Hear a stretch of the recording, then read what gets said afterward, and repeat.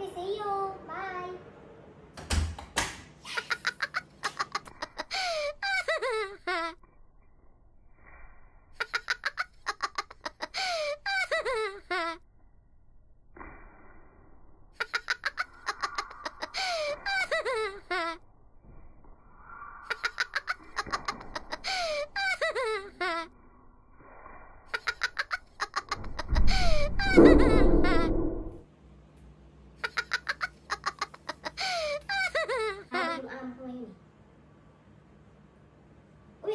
Kandila. Hmm. Ang bango. Oh, sobrang bango ng kandila. Oh. Alam ko na yung gagawin ko.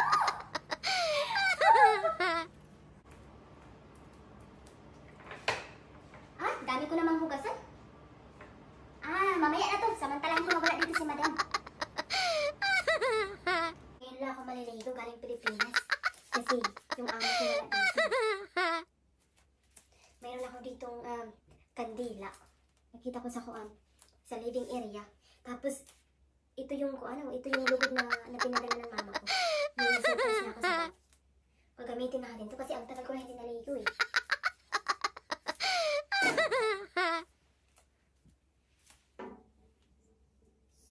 Ang saya ng feeling pag wala dito yung amo ko. may juice, may kandila, may lugod. Ay! Mag-relax muna ako dito. I-start ko nga yung kuan. Tubig. Okay. Ang bango ng kandila, mag-relax-relax muna si Marisol. Kasi yung amo niya, wala naman dito si Madam eh.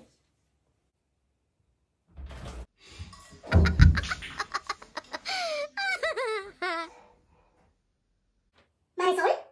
Ano ginagawa mo? Akala ko nakaalis na kayo, madam. Hindi pa kami nakaalis.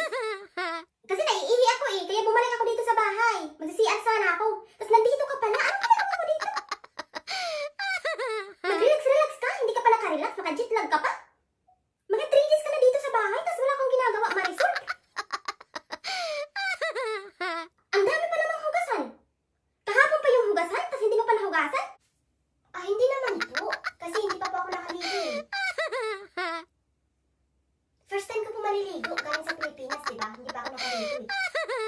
Tapos giikuan ko na lang, di advantage ko na lang na wala kayo dito para hindi kayo ma-escape. Ano yan? Ah, ito po. Hindi ba nakakatakot, Marisol? Bakit dinadala mo yan sa bahay? Hindi po, hindi po nakakatakot. Pag ano yan? Lugod po. Lugod! L- lugod ang tawag dyan? Halata Marisol, itapon mo yan ha? Baka nakakatakot yan. No, hindi po, hindi po nakakatakot. Tangkuhan ko po siya eh. Pagtanggal po niya ng kuan libag, pag maligo, doon sa island namin marami dito eh. Kasi mama ko pinabaunan ako ng, isa sa kuan sa bag. Hindi ko alam kasi kisurprise mo na ako ng mama ko. Ganito oh. Pag maligo ka, tapos ganyan-ganyan mo ganyan. Para mata- makuha yung mga kuan, mga ano ka, mga dumi. Gusto mo i-try? Hay nako, Marisol. Ano yan yung robe? Dan, ginamit mo yung robe ko?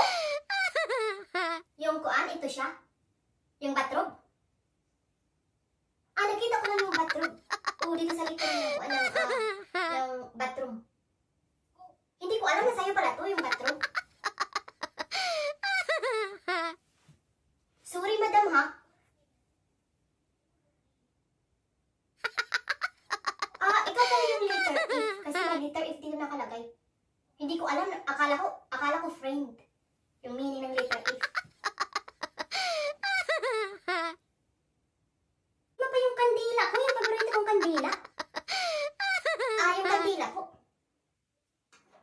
Ah, nakita ko po to siya sa living room. Marisol, bago ka mag-relax, maghugas-hugas ka muna. Gawin mo muna yung mga gawain sa bahay. Ah, sige po, hindi na po mauulit, madam. Hay nako.